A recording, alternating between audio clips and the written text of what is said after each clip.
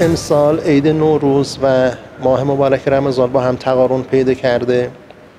برنامه هایی که برای این موضوع تدارک دیده شده خب یک محل های اختصاص داده شده که به صورت پوشیده باشه و احیانا مسافرین اگر خواسته باشن در اون نهار استفاده بکنن یا غذا میل بفرمایند در اون محل های پوشیده مکان هایی برای رفاه حال مسافرین در نظر گرفتیم. باز برنامه های تورگردانی هست که تور به سمت بقای متبرک انجام میشه. عمده کاری که ما برای مسافرای نوروز انجام دادیم در قالب 14 کمیته و با همکاری 28 دستگاه اجرایی اتفاقات افتاده. آمارمون نسبت به سال گذشته آمار حداقل 10 درصد افزایش رو پیش بینی می‌کنیم و فکر می‌کنم که حداقل دو میلیون گردشگر داخلی ما به اصفهان انشالله خواهیم داشت.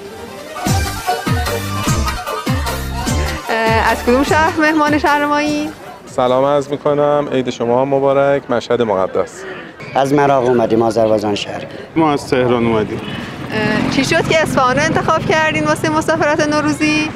خب اصفهان کلا شهرش رو دوست داریم. بار چندم تقریبا پنجم ششمی میشه که اومدیم اصفهان. اصفهان یک شهر دیدنی یکی از قطبای گردشگری ایرانه.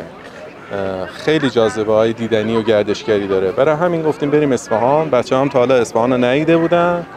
اصفهان جای تاریخیه. بزرگه. آب هواش خوبه.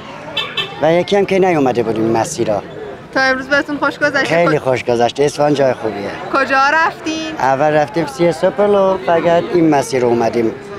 دوست داریم که مثلا سی و سپل و میدون نقش جهان و چهل و بچه ها تو کتابشونم تو درس های جغرافی و تاریخشون این آثار باستانی رو دیدن حالا براشون جاذبه داره دیدنشون که اینایی که خوندن حالا دارن تصویری می‌بینن آره. یه ویژگی بخواین از اصفهان بگین چیه؟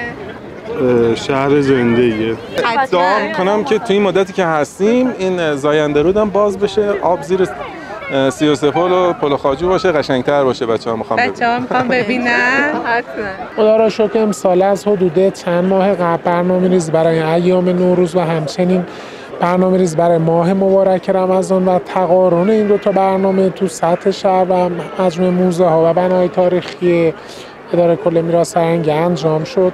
خوشبختانه حدود 300 نفر ما پرسنل آماده باش هستن که از 9 صبح تا ساعت دواز... تا 11 شب آماده بازرسی و همچنین خدمات دهی به همه گردشگران از هستن که از سر تا سر ایران تو این ایام به اصفهان ورود می‌کنن.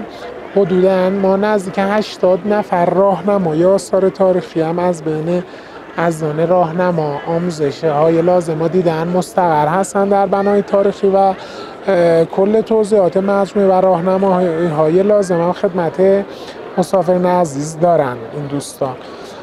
ما هم طبق هر سال با توجه که افزایش آمار گردش کرد تو این ایام داریم ساعت تا افزایش پیدا می‌کنه و تا ساعت 9 شب هموطنانمون می‌تونن از مجموعه های بنای تاریخ و موزای اصفهان بازدید کنن.